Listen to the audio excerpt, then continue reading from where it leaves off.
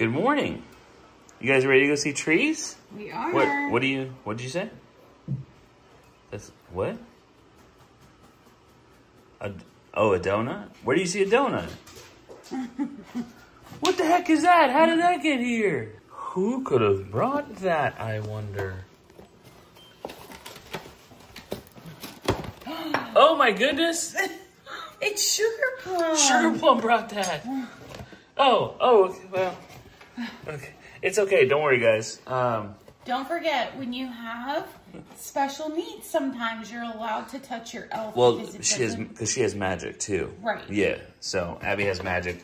The elf has magic. That doesn't mean it get, you can touch your elf, though. Right. It's basic math. It- Magic cancels out magic. Yeah. A positive times a positive is positive. Negative times a negative. is- You know. Right. Yeah, it's basic math.